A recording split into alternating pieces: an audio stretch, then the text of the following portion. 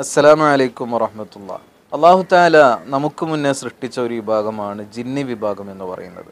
ജിന്നി വിഭാഗത്തെക്കുറിച്ച് വിശുദ്ധ ഖുർആാനിലും തിരുസുന്നത്തിലും ധാരാളം വിഷയങ്ങൾ നമുക്ക് കാണാൻ സാധിക്കും. ഇന്നത്തെ വീഡിയോയിൽ നമ്മൾ ചർച്ച ചെയ്യുന്നത് പൈശാചികമായി പ്രയാസം അനുഭവപ്പെടുന്ന ആളുകളിൽ കാണപ്പെടുന്ന പതിനഞ്ച് അടയാളങ്ങളാണ്. അപ്പോൾ നമുക്ക് വളച്ചു നീട്ടില്ലാതെ വിഷയത്തിലേക്ക് കടക്കാം. എല്ലാവർക്കും ഒരിക്കൽ കൂടി അസരീസ് വ്ലോഗിന്റെ പുതിയൊരു വീഡിയോയിലേക്ക് സ്വാഗതം.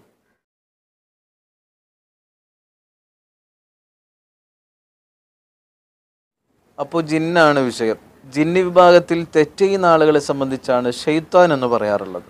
അത് നമുക്കിടയിൽ ഉള്ളതുപോലെ തന്നെ നമ്മളിൽ ആരെങ്കിലും ഒരു തെറ്റ് കാണിച്ചാൽ ഒരു കുരുത്തക്കേട് കാണിച്ചാൽ നമ്മൾ പറയാറുണ്ട് എടാ ഷെയ്ത്താനെ എന്നൊക്കെ. അതുപോലെ തന്നെ ജിന്നി വിഭാഗത്തിലും തെറ്റ് ചെയ്യുന്ന ആളുകളെക്കുറിച്ച് ഷെയ്ത്താൻ എന്ന പ്രയോഗമാണ് നമുക്ക് കാണാൻ കഴിയുന്നത്. ജിന്നുമായി ഷെയ്ത്താനുമായി നമ്മൾ ഒരുപാട് വീഡിയോസ് മുമ്പ് ചെയ്തിട്ടുണ്ട്. അതിൽ വിശദമായി പല കാര്യങ്ങളും പറഞ്ഞിട്ടുണ്ട്. ഇത്തരം വിഷയങ്ങൾ അറിയാൻ താല്പര്യമുള്ള ആളാണ് നിങ്ങൾ എങ്കിൽ ആ വീഡിയോസൊക്കെ പൂർണമായി നിങ്ങൾ കണ്ടിരിക്കുക.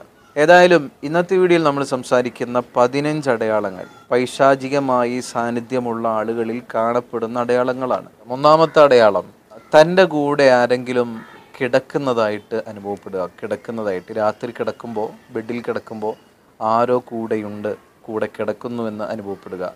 ഉറക്കത്തിൽ അടിക്കുന്നതായും ഉപദ്രവിക്കുന്നതായും അനുഭവപ്പെടുക. രണ്ടാമത്തത് ഒരു കാരണവുമില്ല. ശാരീരികമായ ഒരു പിന്നെ ടെസ്റ്റ് നടത്തിയിട്ട് ഒരു കുഴപ്പമില്ല ഉറക്കം വരാതിരിക്കുക രാത്രി സമയങ്ങളിൽ. അതുപോലെ തന്നെ ഉത്കണ്ഠ അനുഭവപ്പെടുക ആരുമായി സംസാരിക്കാതിരിക്കുക ഇതൊക്കെ പൈശാചിക അടയാളങ്ങളിൽ പെട്ടതാണ്. മൂന്നാമത്തത് സ്ഥിരമായി പേടിപ്പെടുത്തുന്ന സ്വപ്നങ്ങൾ കണ്ടുകൊണ്ടിരിക്കുക.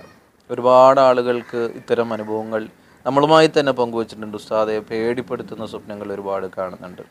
നാലാമത്തെ അടയാളം വിചിത്രമായ രൂപങ്ങളോടുകൂടി ചില ആളുകളെ ഇങ്ങനെ കാണുക സ്വപ്നത്തിൽ. വിചിത്രമായ എന്ന് പറഞ്ഞാൽ ചിലപ്പോൾ അമിതമായ ഉയരമുള്ള ആളായിരിക്കും അല്ലെങ്കിൽ തീരെ ഉയരമില്ലാത്ത ആളായിരിക്കും അല്ലെങ്കിൽ കറുകറുത്ത മനുഷ്യന്മാർ. അങ്ങനെയുള്ള രൂപങ്ങൾ വിചിത്രമായി കാണപ്പെടുന്ന തോന്നിപ്പിക്കുന്ന രൂപങ്ങളൊക്കെ സ്വപ്നത്തിൽ കാണുക. അതുപോലെ തന്നെ വലിയ ഉയരമുള്ള സ്ഥലത്ത് നിന്ന് താഴേക്ക് വീഴുന്നതായി കാണുക. അഞ്ചാമത്തെ അടയാളം. ആറാമത്തെ അടയാളം ഉറക്കത്തിൽ അറിയാതെ എഴുന്നേറ്റ് നടക്കുക. അതോടൊപ്പം കരയുക ചിരിക്കുക അട്ടഹസിക്കുക വിചിത്രമായ വ്യത്യസ്തമായ ശബ്ദങ്ങൾ ഇങ്ങനെ പുറപ്പെടുവിക്കുക പല്ല് കടിക്കുക ഇതൊക്കെ പൈശാചിക അടയാളങ്ങളായി നമുക്ക് വിലയിരുത്താൻ സാധിക്കും.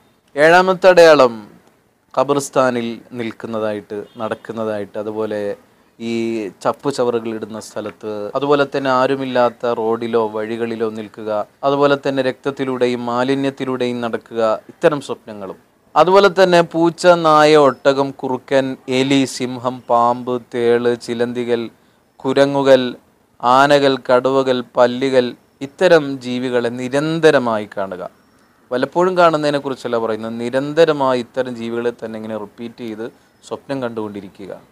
ഒൻപതാമത്തെ ഒരു അടയാളം ബ്ലഡിനോ മറ്റൊന്നൊരു കുഴപ്പമില്ല എന്നാലും ശരീരത്തിൽ നീല പാടുകൾ അതുപോലെ തന്നെ ചുവന്ന പാടുകൾ ഇങ്ങനെ വെറുതെ ഇങ്ങനെ പ്രത്യക്ഷപ്പെട്ടുകൊണ്ടിരിക്കുക. പത്താമത്തെ അടയാളം എത്ര മരുന്ന് കഴിച്ചിട്ടും എത്ര ഹോസ്പിറ്റലിൽ കാണിച്ചിട്ടും മാറാത്ത തലവേദന നിരന്തരമായ തലവേദന. അതും പൈശാചിക അടയാളങ്ങളിൽ നമുക്ക് കാണാൻ കഴിയും. പതിനൊന്നാമത്തെ അടയാളം പ്രത്യേകിച്ചൊരു കാരണമൊന്നുമില്ല പക്ഷെ ഹൃദയം ഇങ്ങനെ ഇടിച്ചുകൊണ്ടിരിക്കുക ഹൃദയമിടിപ്പ് കൂടിക്കൊണ്ടിരിക്കുക. പന്ത്രണ്ടാമത്തെ ഒരു അടയാളം വാക്കുകളിലും പ്രവൃത്തികളിലും അതുപോലെ ചലനത്തിലും സ്വഭാവത്തിലും ഒക്കെ വളരെ സാധാരണയില്ലാത്തൊരു ആശയവ്യത്യാസവും പ്രത്യേകതയും അനുഭവപ്പെടുക. പതിമൂന്നാമത്തെ ഒരടയാളം അത് നമ്മൾ കഴിഞ്ഞ വീഡിയോയിൽ വിശദീകരിച്ചിട്ടുണ്ട്. ഭാര്യയോട് വീട്ടുകാരോട് മക്കളോട് ആവശ്യമില്ലാതെ ദേഷ്യം പിടിക്കുക അവരോട് പിന്നെ വിദ്വേഷം ഉണ്ടായിത്തീരുക ഇതൊക്കെ പൈശാചികമായ പ്രയാസങ്ങൾ കൊണ്ടും ഉണ്ടായേക്കാം. പതിനാലാമത്തെ ഒരടയാളം കൈകാലുകളിൽ മരവിപ്പ് സംഭവിക്കുക. അതുപോലെ തന്നെ ശരീരത്തിൽ ഉറുമ്പ് സഞ്ചരിക്കുന്നത് പോലെ അനുഭവപ്പെടുക. പതിനഞ്ചാമത്തെ അവസാനത്തെ ഒരടയാളം ഏത് തരം മ്യൂസിക് ഗാനങ്ങളും പാട്ടും കൊട്ടും ഇതൊക്കെ കേൾക്കാൻ വലിയ ആവശ്യമായിരിക്കും പക്ഷേ ഖുർആൻ ഓതുന്നത് കേൾക്കുമ്പോഴോ അല്ലെങ്കിൽ സ്വലാത്ത് ചൊല്ലുന്നത് കേൾക്കുമ്പോഴോ പറയുമ്പോഴോ വല്ലാത്തൊരു അസ്വസ്ഥത അനുഭവപ്പെടുക. ബാങ്ക് വിളി കേൾക്കുമ്പോൾ അസ്വസ്ഥത അനുഭവപ്പെടുക. നിസ്കരിക്കുമ്പോൾ തലയിൽ വല്ലാത്തൊരു ഭാരം അനുഭവപ്പെടുക. അങ്ങനെ നല്ലതുമായി ബന്ധപ്പെടുമ്പോൾ ഉണ്ടാകുന്ന വല്ലാത്തൊരു അസ്വസ്ഥത. വളരെ പ്രധാനമായി നിങ്ങളോടൊരു വിഷയം പറയാനുള്ളത്. ഇത്തരം കാരണങ്ങൾ കാണുമ്പോഴേക്ക് അടയാളങ്ങൾ കാണുമ്പോഴേക്ക് അള്ളാഹ് ഇത് ഇത് പൈശാചികമാണ് ഇത് ശൈത്താന്റെ പ്രയാസമാണ് എന്ന് നമ്മൾ ഉറപ്പിക്കാനോ വിലയിരുത്താനോ പാടില്ല. നല്ലൊരു ഡോക്ടറെ കാണിക്കുക. ചിലപ്പോൾ മാറ്റം ഉണ്ടാകും. ഒരു പക്ഷേ ഒരു മനഃശാസ്ത്രജ്ഞനെ കാണേണ്ടി വരും. അത് കാണുക. എന്നിട്ട് നല്ല ട്രീറ്റ്മെന്റ് നേടിയെടുക്കുക. അതുകൊണ്ട് തന്നെ ഈ പ്രയാസങ്ങളൊക്കെ മാറിക്കിട്ടും. ഇങ്ങനെ കാണിച്ചിട്ടും എത്ര ചെയ്തിട്ടും മാറ്റമില്ലാത്ത ആളുകളാണോ നിങ്ങൾ എങ്കിൽ നല്ലൊരു ആത്മീയ ചികിത്സകനെ കാണണം എന്നതാണ് അതിലുള്ള പ്രതിവിധി എന്ന് നിങ്ങളോട് ഓർമ്മപ്പെടുത്താണ് അള്ളാഹു സുബാനഹുവത്താല നമ്മുടെയൊക്കെ പ്രയാസങ്ങൾ മാറ്റിത്തരട്ടെ. ഒരുപാട് സഹോദരിമാർ സഹോദരന്മാർ പൈശാചികമായി പ്രയാസപ്പെടുന്നുണ്ട്. കാസർഗോഡുള്ള ഒരു സഹോദരൻ കുറച്ച് ദിവസം മുമ്പ് വരെ എനിക്ക് മെസ്സേജ് അയച്ചും വിളിച്ചുകൊണ്ടും പലപ്പോഴും നമുക്ക് വിളിക്കുമ്പോൾ ഫോൺ എടുക്കാൻ കഴിയാറില്ല. ഒരുപാട് ആളുകൾ ഇങ്ങനെ ഫോൺ ചെയ്യുന്നുണ്ട് കോണ്ടാക്ട് ചെയ്യുന്നുണ്ട് ദയവ് ചെയ്ത് നിങ്ങൾക്ക് കോണ്ടാക്ട് ചെയ്താൽ ചിലപ്പോൾ ഞാൻ എടുക്കാറില്ല. അപ്പോൾ നിങ്ങൾ ആരും ദേഷ്യം തോന്നരുത്.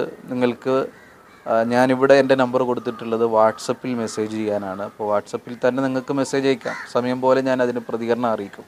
നിങ്ങൾ ആരും വിളിച്ച് എന്നെയും പ്രയാസപ്പെടുത്തരുത് നിങ്ങൾക്കും പ്രയാസമുണ്ടാകരുത് അതുകൊണ്ട് എന്തെങ്കിലും ഇത്തരം രൂപത്തിൽ പൈശാചികമായി പ്രയാസം അനുഭവപ്പെടുന്ന ആളുകൾക്ക് ഇൻഷാല്ല പടച്ചവൻ നമുക്കിവിടെ ഒരു വഴി തുറന്നു വെച്ചിട്ടുണ്ട്. മഹാരഥന്മാർ ഹബീബായ നബി സല്ലാ അലൈഹി സ്വലമ തങ്ങൾ നല്ലൊരു ആത്മീയ ചികിത്സ നമ്മെ പഠിപ്പിച്ചിട്ടുണ്ട്. മഷായഹുമാർ നമുക്ക് നല്ലൊരു വഴി കാണിച്ചു തന്നിട്ടുണ്ട്. ഇപ്പോൾ എന്നെ കോണ്ടാക്ട് ചെയ്യുന്ന ആളുകൾ എനിക്ക് കഴിയുമെങ്കിൽ ഞാൻ അത് ചെയ്തു കൊടുക്കും. അത്തരം ആളുകൾ ഒരുപാട് ചിലപ്പോൾ അമ്പലങ്ങളിലും ക്ഷേത്രങ്ങളിലും ഞാൻ ഈ അമ്പലത്തെയോ അല്ലെങ്കിൽ ഹിന്ദുമത വിശ്വാസത്തെയോ കുറ്റപ്പെടുത്തുകയോ കളിയാക്കുകയല്ല ഞാൻ ഇവിടെ ചെയ്യുന്നത്. ഓരോ മതക്കാർക്കും ഓരോ മതവിശ്വാസമുണ്ട്. ആ വിശ്വാസം അനുസരിച്ചായിരിക്കണം നമ്മൾ ജീവിക്കേണ്ടത്. ഇസ്ലാമിനെ സംബന്ധിച്ചിടത്തോളം കൃത്യമായ ഒരു ആശയവും ഒരു ആദർശവുമുള്ള ഒരു മതമാണ് ഇസ്ലാം മതം. അപ്പോൾ അതിലുള്ള വിശ്വാസത്തെയും ആദർശത്തെയും സ്വീകരിക്കാൻ ഏതൊരു മുസ്ലിമിന്റെയും ബാധ്യതയാണ് എന്ന് മനസ്സിലാക്കി അന്യമത വിശ്വാസങ്ങളെ കൂട്ടുപിടിക്കാതെ ഇവിടെ തന്നെ നമുക്ക് കൃത്യമായി ചികിത്സയുണ്ട്. ആത്മാർത്ഥമായി ചികിത്സ ചെയ്യുന്ന ഉസ്താദുമാരുണ്ട് സയ്യിദന്മാരുണ്ട്. അത്തരക്കാരെ തേടിയെത്തുക തന്നെ ചെയ്യണം. ഒരു ഒരാളുടെ പേര് കേൾക്കുമ്പോഴേക്ക് അല്ലെങ്കിൽ ഒരു ജിന്നും അവിടെയുണ്ട്. അല്ലെങ്കിൽ ജിന്നിനെ സേവിക്കുന്ന ഒരാളുണ്ട്. അല്ലെങ്കിൽ അത്ഭുതങ്ങൾ പറയുന്ന ഒരാൾ അവിടെയുണ്ട് എന്ന് കേൾക്കുമ്പോഴേക്ക് നമ്മൾ ചാടി വീഴാതെ കൃത്യമായി തന്നെ ഒന്നും രണ്ടും മൂന്നും വട്ടം അന്വേഷിച്ചിട്ട് തന്നെ നമ്മൾ ഒരു ചികിത്സാരിയെ സമീപിക്കാൻ പാടുള്ളൂ. കാരണം ഈ ഷെയ്ത്താന്റെ ലോകം എന്ന് പറയുന്നത് ജിന്നിന്റെ ലോകം എന്ന് പറയുന്നത് വിശാലമായൊരു ലോകമാണ് ആ ലോകത്തിലേക്ക് നമ്മളൊന്ന് കാലെടുത്ത് വെച്ചാൽ അവരുമായി നമുക്കൊരു കണക്ഷൻ ഉണ്ടായാൽ പിന്നെ പിറകോട്ട് വരിക മാറുക എന്നുള്ളത് വളരെ പണിപ്പെട്ട കാര്യമാണ്. അതുകൊണ്ട് ശ്രദ്ധയോടെ ഇത്തരം വിഷയങ്ങൾ കൈകാര്യം ചെയ്യണം എന്ന് ഓർമ്മപ്പെടുത്തി അള്ളാഹു എല്ലാവിധ പൈശാചികതയെ തൊട്ടും നമ്മെ രക്ഷപ്പെടുത്തുമാറാകട്ടെ. വീണ്ടും കാണാം. അസ്സാം വലൈക്കും വറഹമത്തല്ലാഹി വബർക്കാത്തു